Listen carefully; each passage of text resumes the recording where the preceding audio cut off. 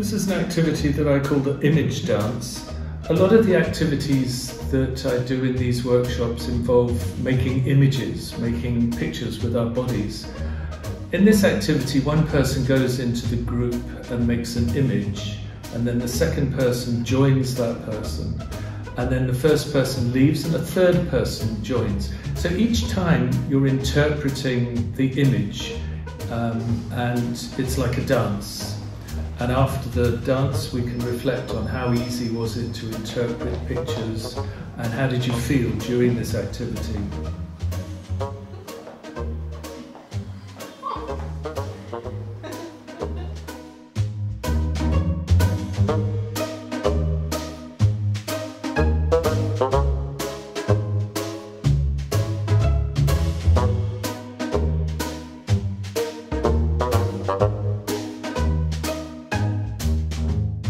Thank